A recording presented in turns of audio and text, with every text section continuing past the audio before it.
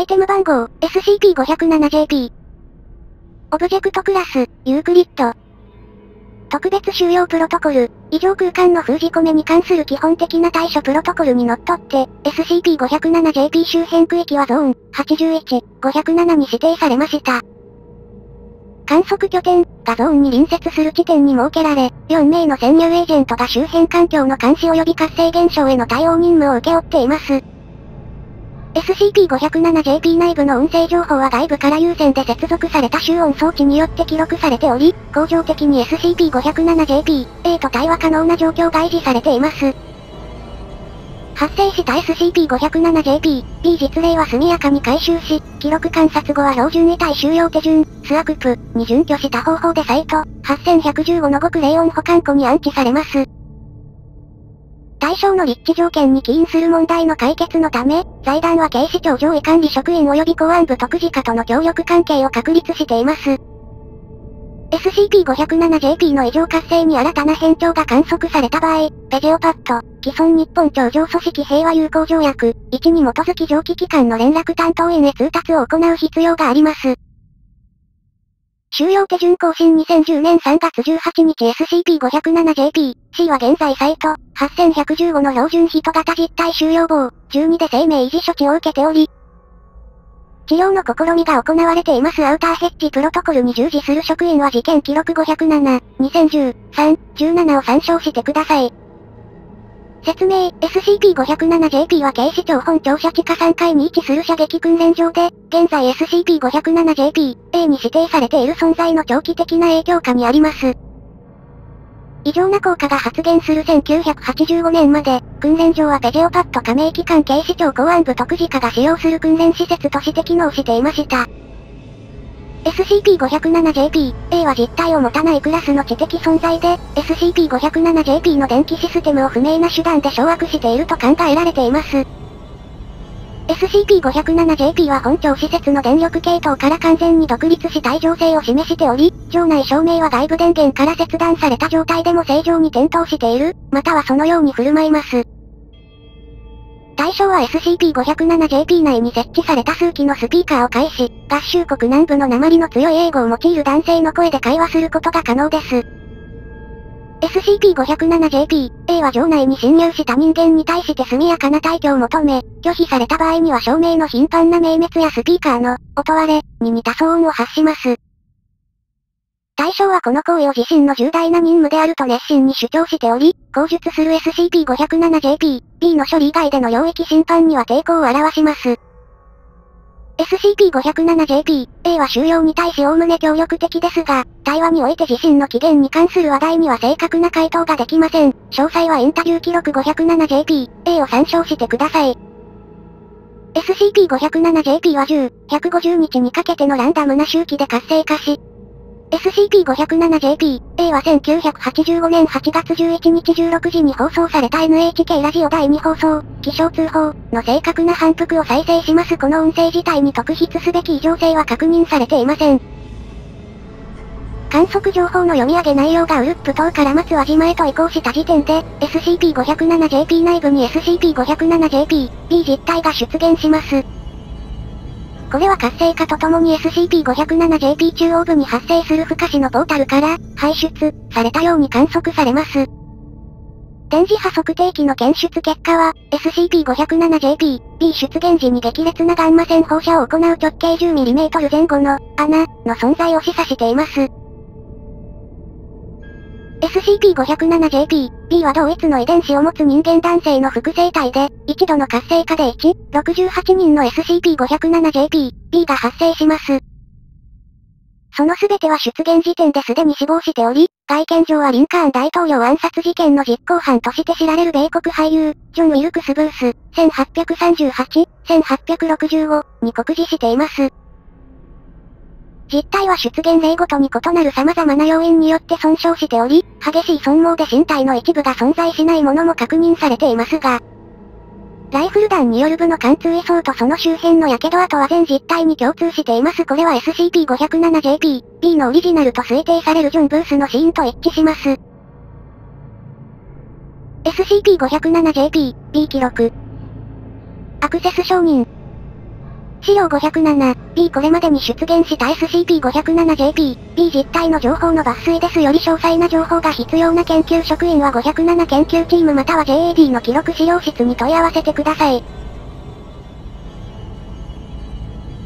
日付、個体数、状態。1985年9月1日。8、記録された中では最古の出現例すべての SCP-507JP、B 実体は低毛され、左腕を外科的に切除されている拷問に起因する打撲傷と裂傷が全身に見られた。死因は部への銃撃による失血死と考えられるが、肋骨の骨折と胸部の圧迫痕から、不明な実態が対象に蘇生法を試みたと推測される。1987年2月16日。23、実態は塩ビ服を着用しており、明らかに飢餓により死亡している胸ポケットからは44マグナム弾が一つずつ発見された。1991年11月12日。15、実態は重曹を除き無傷であるように観察されたが、解剖時に内部から大量のカブトムシの幼体が発見された。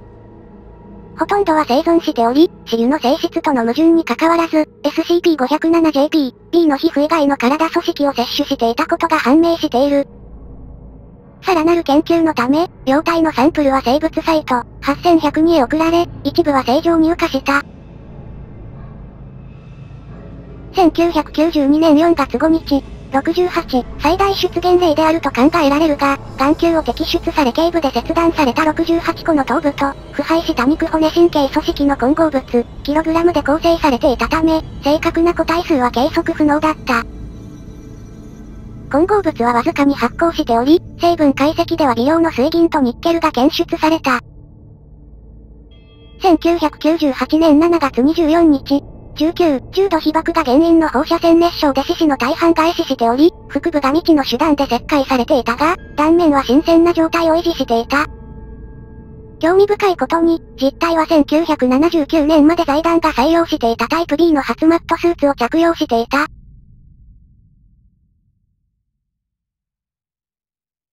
回収経緯 SCP-507JP は公安部とクジカが所有していたアイテムによって創造されたと考えられています。政府機関が扱う範囲を逸脱した治療上事象の運用法を定めたペジオパッド規則にのっとり、オブジェクトの管理権限は1985年9月に財団へ移譲され、関係書類が第三者機関を通じて提供されました。以下はその抜粋です。公安部特ことかから提出された資料、ペジオパッドにより以上。アクセス承認。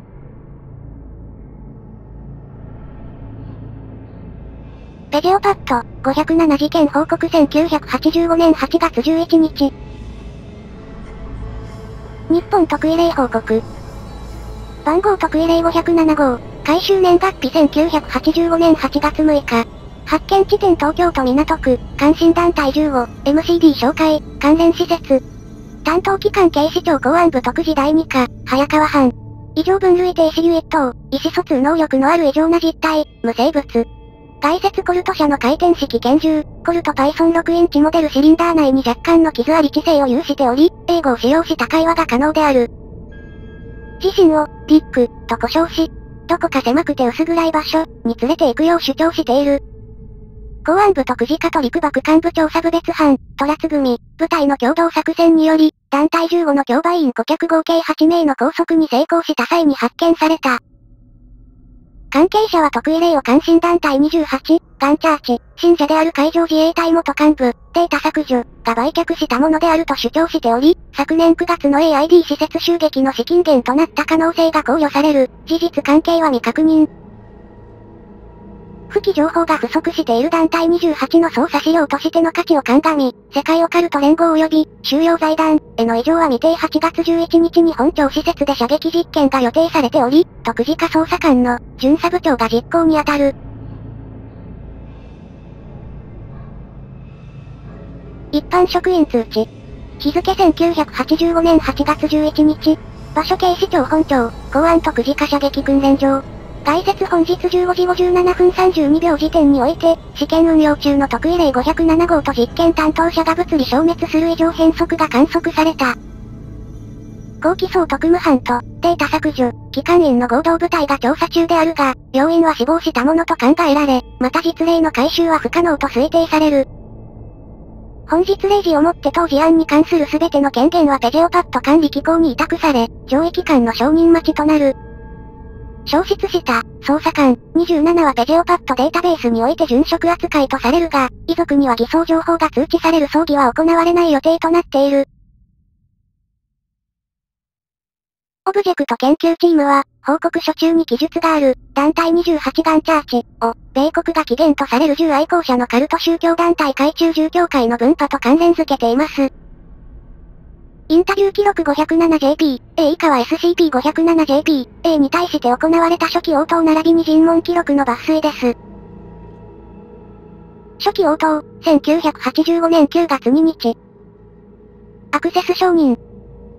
インタビュー対象 SCP-507JP、A。インタビュアーエージェント青、財団工作員、早川捜査官、徳次課職員、全文財団へのオブジェクト譲渡作業の際、異常範囲領域へ侵入した2名に対し SCP-507JP、A が接触を図った記録された中では最初のコンタクトである。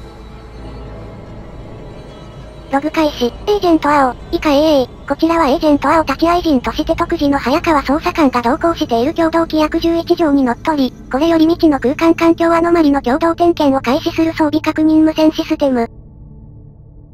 早川捜査官、以下 HI、チェック。AA 機密防護服。HI チェック動作良好。なあ、これ本当に必要なのか ?AA、ため息、そちらがよこした最新の報告書では、ここは暫定的な非ユークリッド空間として表現されている見たところ、私には単なる電気系統の独立性異常としか思えないがな。しかし人間と異常実態がこの場所で突然消えたのは事実だ念には念を入れろと命令があった。HI 俺たちがどれだけ用心して装備をこしらえても、結局は連中のさじ加減で一瞬で無駄になるだろうさ俺の部下もそうだった。いや、悪いもうやめよう。ええそれは、了解したここの利用状況について教えてくれ。HI5 年前の庁舎新設の時、うちのボスがお偉い三方に泣きついて確保した秘密基地の一つだけ遺憾ってのは意外と銃の扱いに慣れてない奴が多いんだが、俺らは仕事が仕事だから、どうしても訓練する必要が出てくる。いざという時化け物の眉間に一発ぶち当てたいって心理が働くんだろうな。俺もそうだ律儀にニーコバまで行く奴もいるが、ほとんどはここで練習してた。ええ周囲を見回して、やはり異常らしき異常は確認できないなここで本当に消し。SCP-507JP、A、以下507、A、出てけ。ええ何 ?HI 誰かいるのか？データ削除 ?507、A 早く出てってくれよ。この時点で早川捜査官は発砲し、スピーカーの一つを破壊 SCP-507JP、A は罵倒語を発し、オブジェクト内部の照明が不規則に点滅する。エージェント青の静止により示談の発砲は抑制された？ええやめろ、何考えてるんだ？現実崩壊の危険性があるぞ。英語、そこに誰かいるのか？こちらに敵言わない。可能なら返事をしてくれ。507、ええ、うなり声、ここにはいねえけど、合ってるっちゃ合ってるなあんたら誰？HI 日本語、まず姿を現せ、おどこへやった？今すぐ出てきて答えろ。AA 落ち着け自立型非実体の対策手順にのっとった方がいい。507、A うんすまねえと思うが、ここに入るのはもうやめてくれねえか旦那にきつく言われてんだよ。ここでは静けさを、静寂を、保たなきゃならねえ形のあるあれこれの話じゃねえぞ。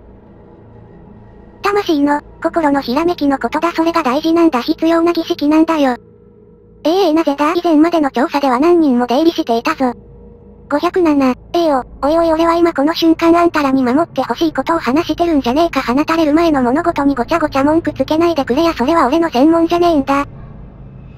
ええ、放たれる前どういう意味だ ?507、ええ文字通りの意味さ、姉ちゃんさ、もう金な。ログ終了。後期 SCP-507JP、A は記録終了直後 230dB 以上の騒音をスピーカーより放出し、病院2名はオブジェクトからの撤退を余儀なくされた。SCP-507JP 周辺区域は封鎖され、財団による初期の封じ込め手順が収容技師により提案された。見聞において不適切な応答を行ったとして、後日公安部特事二課長より謝罪の書簡が届き、早川捜査官は厳重注意を受けたと報告された。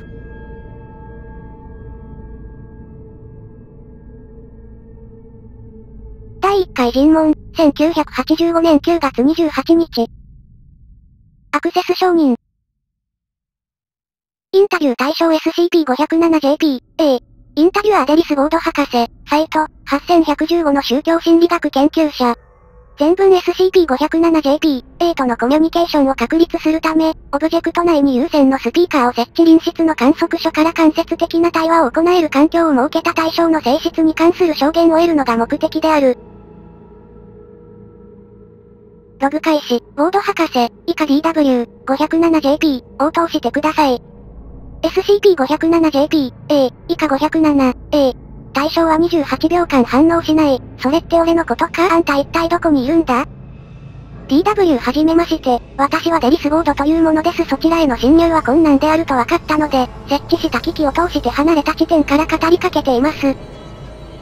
あなたにいくつか質問がありますが、現在の状態での対話を継続してもよろしいでしょうか ?507、ええあ、いいよ俺はビッグって言うんだ。